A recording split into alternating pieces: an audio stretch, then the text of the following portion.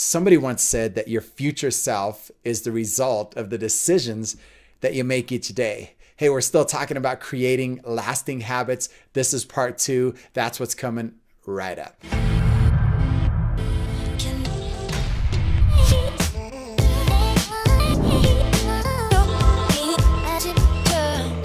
Hey, well, welcome to Faith and Fitness Friday. My name is Joe Alvarado, and I'm your host. And my goal and my passion is to help you know God better and to live a healthier life. Uh, for those of you who are new with me, um, I studied at Liberty University. I have my master's in biblical theology, and I also have a ton of different certificates and, and experience with group fitness. I oversee the group fitness department at Lifetime in Centennial, and I pastor a small church in North Denver. And so there you have it. Those are my credentials, and that's why I love to bring both faith and fitness together you can consider this part two of this whole idea of creating lasting habits. And really, we're learning how to create lasting habits because habits are what lead us to the goals that we have in our lives. And really, uh, it's ironic because most people have kind of the same types of goals.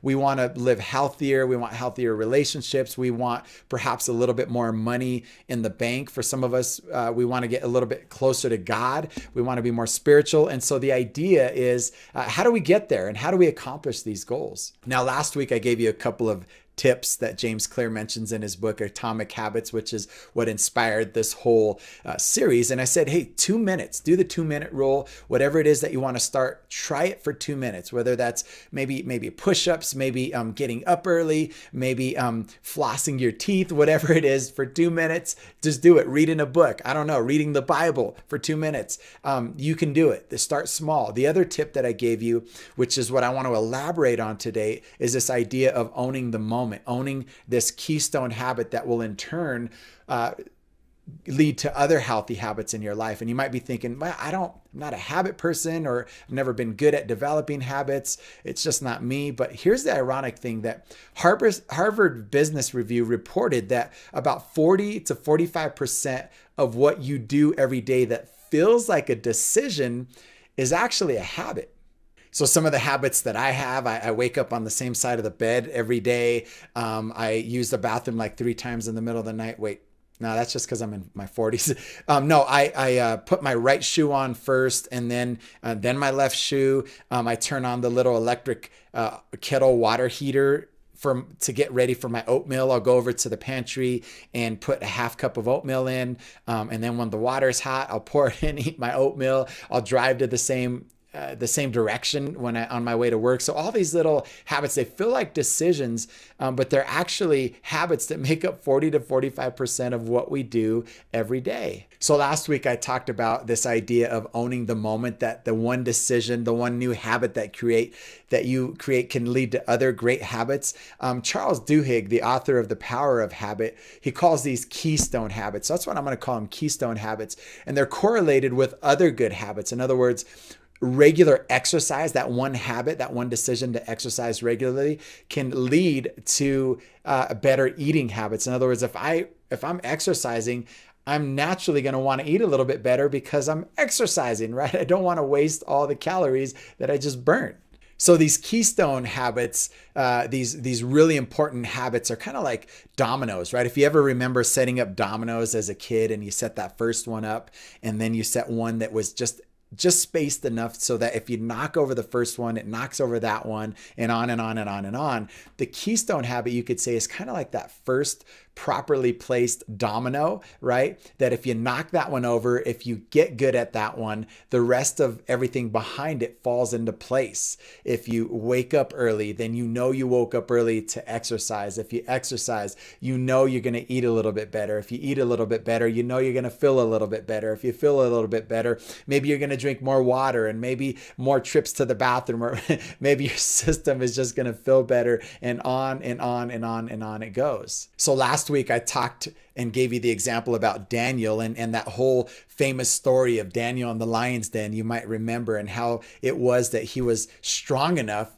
to to last in the lion's den and his faith was was that big but let me give you the a little bit more of details uh, uh, about his life in other words a story behind before the big lion's den incident because it's powerful. It's it's the idea, the system, the one habit that made the big difference in the life of Daniel.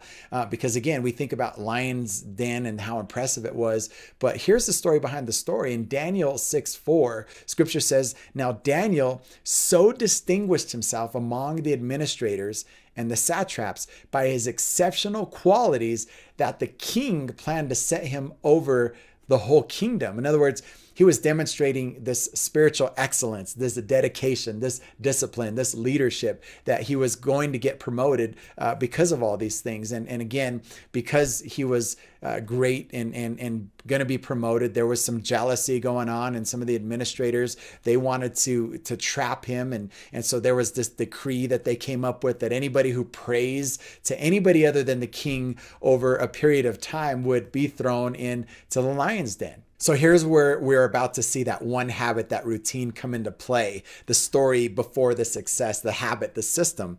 In Daniel 6:10 it says, "Now when Daniel learned that the decree had been published, he went home to his upstairs room where the windows opened towards Jerusalem. Three times a day, he got down on his knees and prayed, giving thanks to his God, just as he had done before." Just as he always did. The habit that he had in place, the keystone habit, the system of prayer three times a day. This is what Daniel did. He prayed just as he had done before. This one small habit helped shape who he was, his identity, his confidence, his faith in God. You see that whole keystone thing, the, the whole domino effect happening.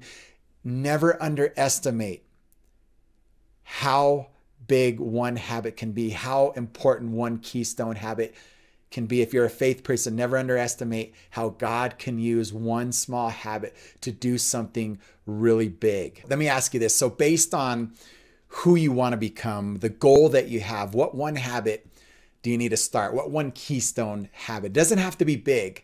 Again, it's better if it's small.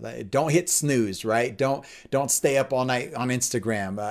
Uh, get up 15 minutes earlier. In other words, if you want to be somebody who cares, maybe you write one note of appreciation a day, or or maybe you want to be somebody who's organized. Maybe you the first thing you do is start making your bed, or you want to be a, a, a godly example to your teen. Maybe you read a Bible plan together, or you want to be a person that's focused. You start the day with with a little list of priorities, or you want to be a person who is healthier, and you just start by eliminating soft drinks. So, a couple of tips on how to create these keystone habits. The first thing is really simple: make it obvious, right? So, if you want to be a person that takes vitamins. Don't leave them in the drawer. Don't leave them in the pantry. Leave them out on the island or the kitchen counter the night before, then it's obvious you get up, there they are, take them, right? If you want to be somebody who reads before bed, um, don't leave your book on the shelf. Uh, uh, put it on the pillow. That way you can do the whole two minute rule. The, the book is sitting there for two minutes. You read, you become somebody over time who reads, you know some more things, you get a little smarter, right?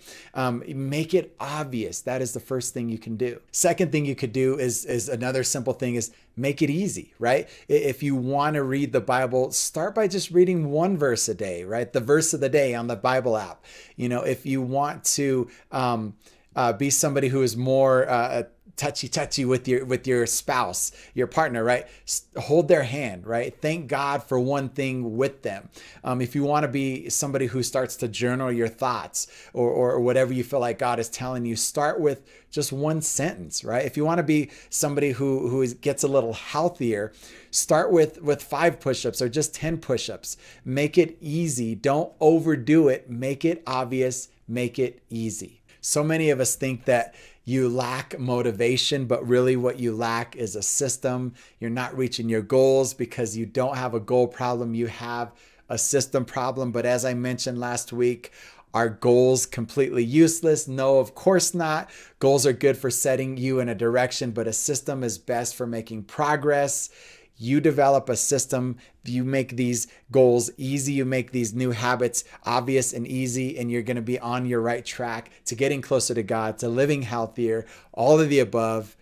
This is Faith and Fitness Friday. Next week, we're going to talk about how to eliminate some of the bad habits. This was how to create some of the good ones, Keystone. I hope this was helpful. I'm praying for you. I'm on your side. Reach out to me, comment below. If any of this helps, share it with somebody. Have a wonderful weekend. God bless.